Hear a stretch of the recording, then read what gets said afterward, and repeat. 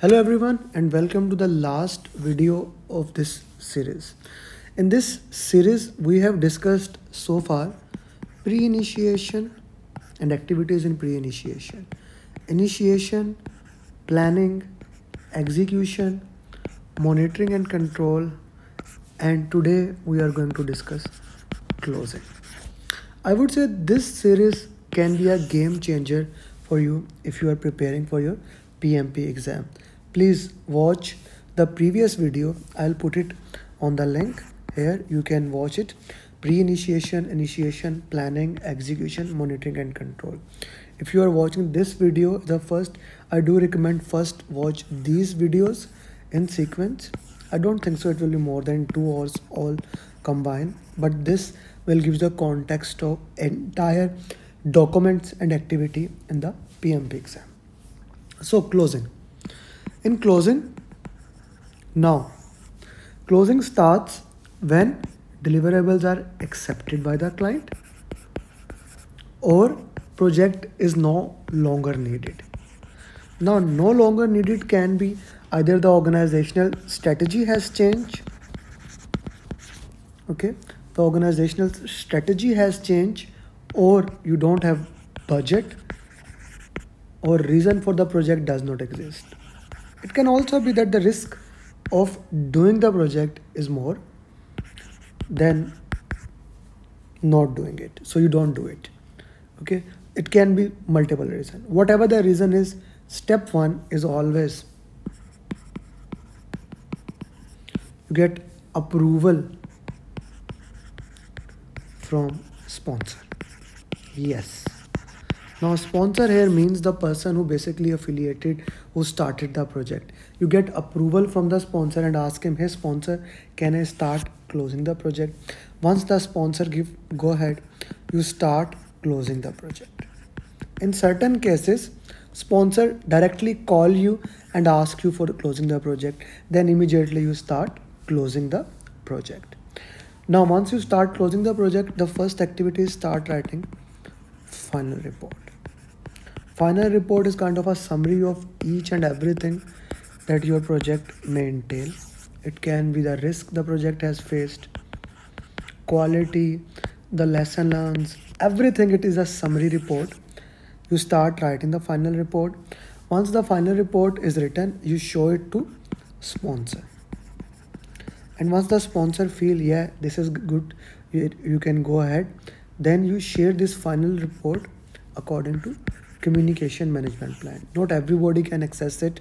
It depends on the communication management plan. Whom you are going to share the final report. While final report is being written you also start updating project documents. And we have already discussed the documents. Documents plus plans are all being updated.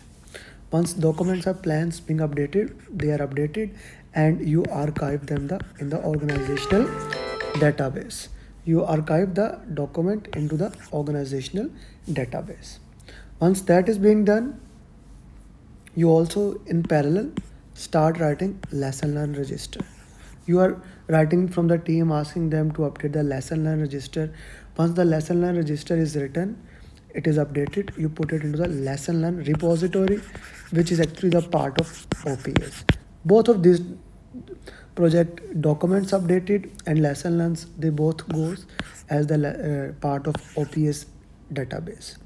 Please understand this thing, this final report, this project documents and lesson learn register, they are being written simultaneously. Okay.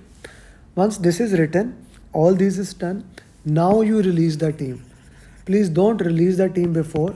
Otherwise, who is going to do the work?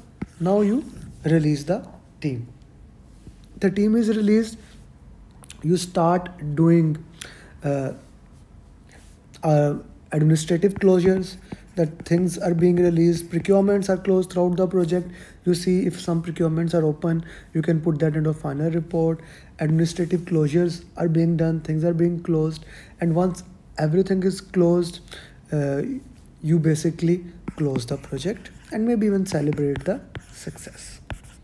Here you celebrate success. Achha, I want to add something here. If we go a little bit above when you are writing the final report if I put a final report a little bit context final report while you are doing it at this context you will also measure your benefit management plan. Whether the intended benefits were met or not. Were they met or not okay? Because that goes into the final report and the lesson learned register. So this is the entire series of how the all projects documents and everything gets updated. So we discussed pre-initiation initiation planning execution monitoring and control and closing. We discussed 18 plans 33 documents and each and every single thing every single thing has been covered in this series.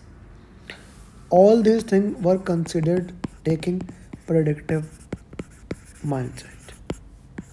If you want me to make a video also explaining the entire agile in this series you can put it into the comments.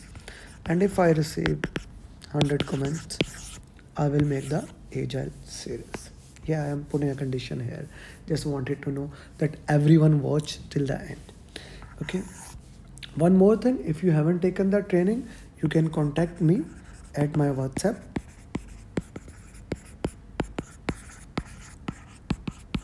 This is my number whatsapp number. Or you can email me if you prefer email communication. You can email me here. I hope this series was useful for you and at any time if you have any question feel free to contact with me. I'm gonna combine all this and maybe next sunday i will put it as a one video so that it can become easy for you. Also put in the comment do you want me to make this in the combined one video? That becomes easy for you. Thank you